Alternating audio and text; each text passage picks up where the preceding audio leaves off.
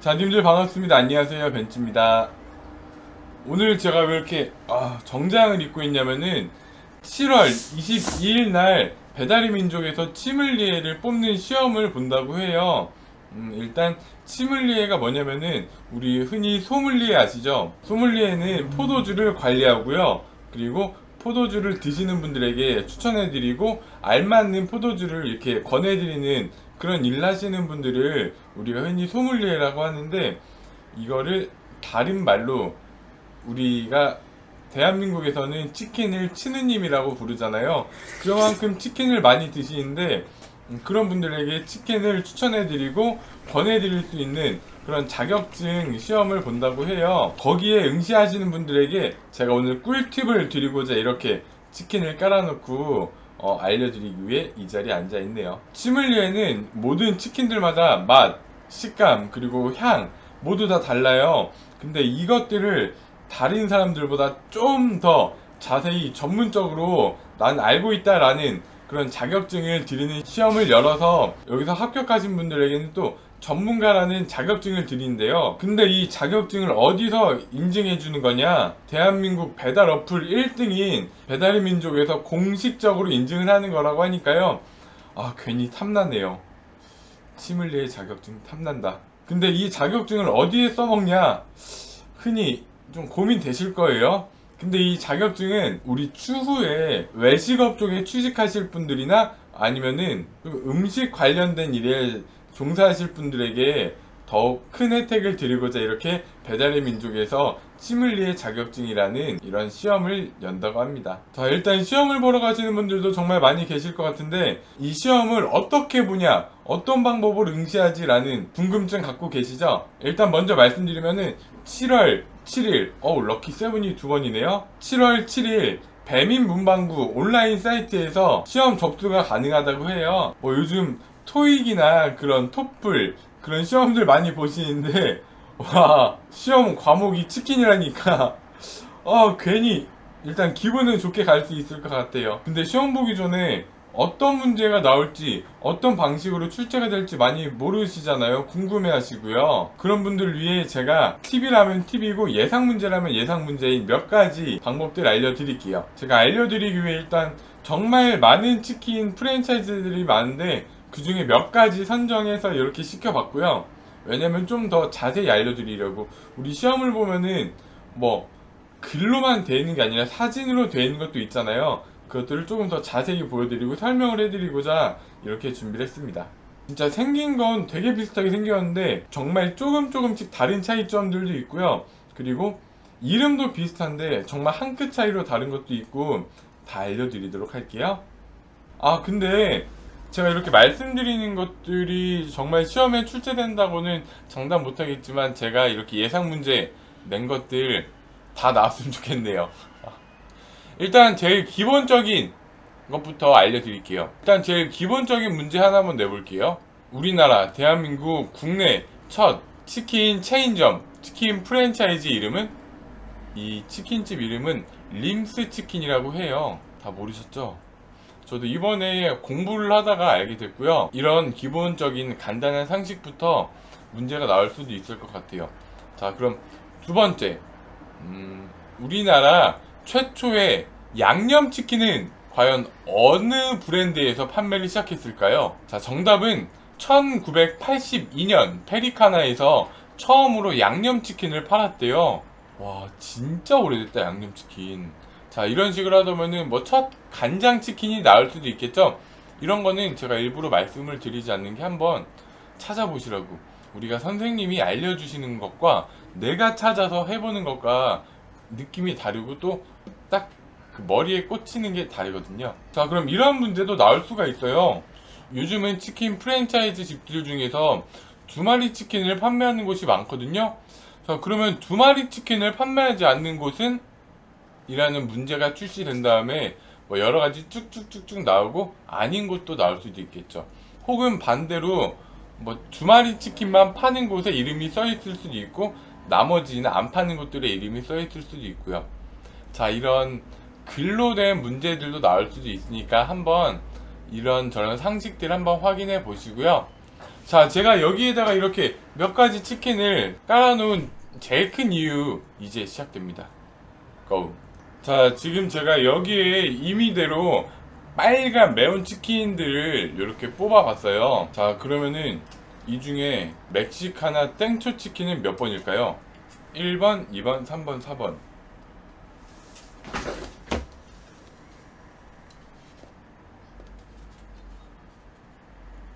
1번, 2번, 3번, 4번. 일단 이런 사진으로도 문제가 나올 수도 있을 것 같아요. 어, 정답을 말씀드리면 정답은 1번이에요. 1번이 멕시카나의 땡초 치킨이에요. 근데 멕시카나 땡초 치킨, 어, 왜 고추가 없어? 라고 생각을 하실 수도 있을 텐데, 글쎄, 그거는 저도 잘 모르겠지만, 어찌됐든, 이거는 멕시카나 땡초 치킨이고요. 두 번째 있는 거는 BHC의 맵스터예요.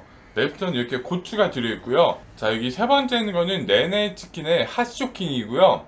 그리고 마지막에 있는 거는 국내 치킨의 볼케이노. 자, 가까이서 보시면은 조금의 차이점 보이죠? 양념의 색이라든가 올려진 토핑이라든가 이런 문제도 출시가 될 수 있을 것 같아요. 자, 그러면 다음 문제 한번 예상해 볼까요? 요즘 그 치킨 위에 치즈가루를 뿌린 그런 치킨들 정말 많잖아요. 그럼 이 중에 과연 BHC 뿌린 크림 몇 번일까요? 1번, 2번, 3번.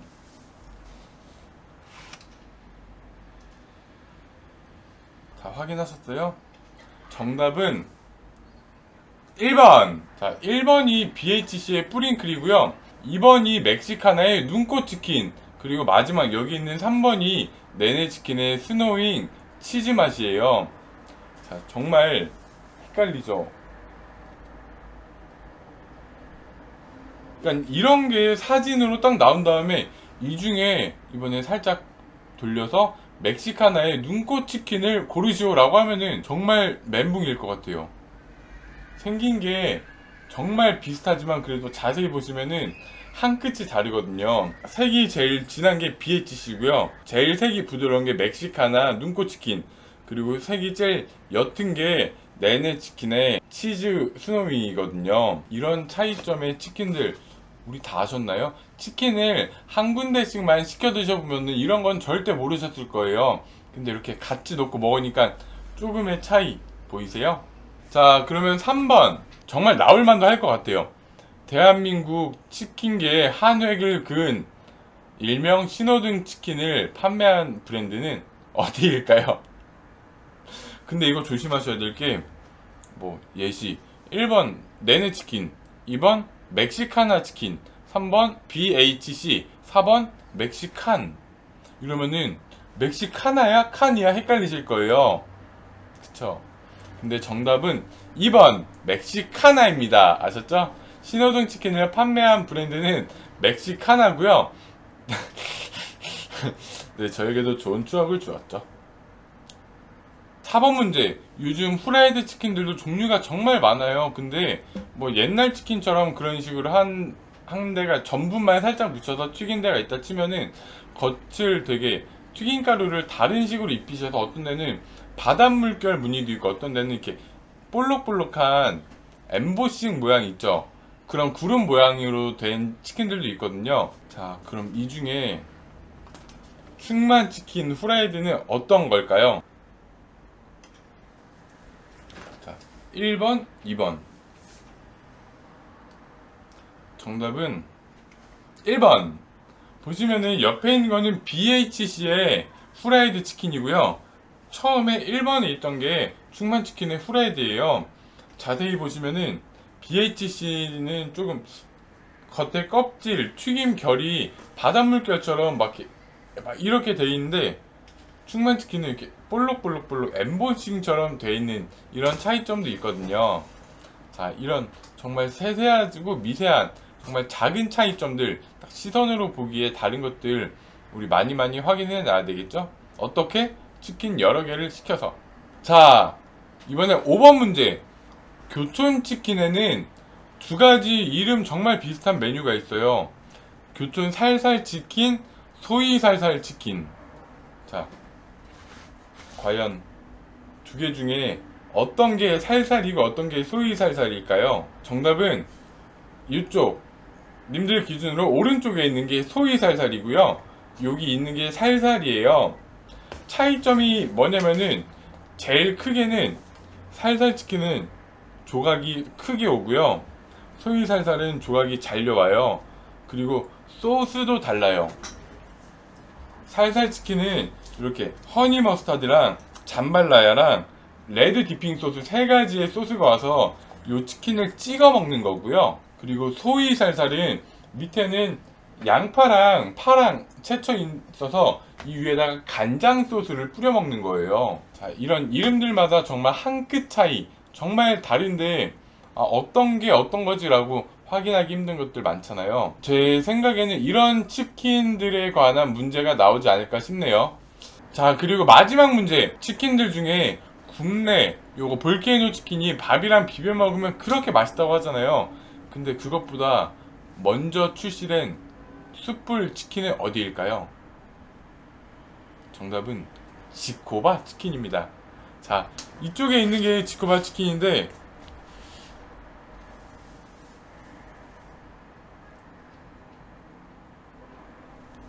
자세히 보시면은 국내 치킨과 다른 점은 고추가 들어있고요.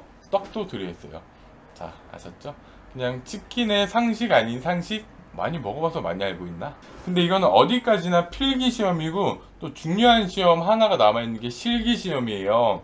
근데 진짜 행복한 시험 중에 하나가 될 것 같은 게 먹어야 되거든요. 블라인드 테스트를 한대요. 드셔보시고 이게 어디 치킨인지 맞추시는 이런 문제를 또 출시한다고 하니까 가셔서 드셔보셔야 돼요. 제가 몇 날 며칠 이거는 무슨 맛이에요? 무슨 맛이에요? 설명을 해도 이거는 직접 드셔보시지 않으시면은 확인하실 길이 없거든요. 이참에 어? 아니 우리 공부를 할 때도 우리 책 사서 공부하고 그리고 하- 실기 시험 때문에 학원에 가서도 준비하고 하잖아요. 치킨 먹는 타당한 이유가 생겼네요. 왜냐면은 시믈리에 자격증을 따야 되니까 특히 외식업 쪽에 종사하고 싶으신 분들 혹은 어디 가서 자랑하고 싶으신 분들 회사에서 끝나고 회식할 때 치킨 먹으러 가면은 아 이거 어디 치킨이네? 어 어떻게 알아요? 나 시믈리에 자격증 있어 아 멋있잖아요 진짜 개인적으로 탐난다 치믈리에 근데 정말 제일 어려운 치킨 중에 하나가 후라이드일 것 같아요 양념은 맛이 조금씩 조금씩 다른 게 확연히 드러나는데 진짜 후라이드에 관한 거는 와 정말 힘들 것 같아요. 후라이드 치킨을 실기시험으로 드실 때는 맛도 맛이지만 껍데기의 그 식감을 한번 잘 구분하셨으면 좋겠어요. 근데 제가 치밀리의 시험을 위해서 이렇게 정말 아주 간단한 팁을 드렸으니까 시험 보실 분들은 꼭 치밀리의 자격증 따시고요. 아까 말씀드린 거 시험 접수는 언제? 럭키세븐 7월 7일 배민 문방구 홈페이지에서 온라인 접수 받으니까요. 일단 네이버 다음 포털 사이트에다가 배민 문방구라고 한번 검색해 보시면은 자세하게 더 나올 거예요. 시험은 7월 22일이니까 우리 시험 보시는 분들 모두 모두 시험 잘 보시고요. 자격증 따신 분들은 꼭 자랑하세요. 왜냐면 부럽거든요. 아셨죠? 자, 그럼 이제 저는 남은 치킨 저희 벤치 패밀리 애들이랑 같이 먹도록 하겠습니다. 자, 애들 좀 불러 갔다 올게요. 주진이 형님, 치킨 먹자. 어, 야, 어 거기 있었어?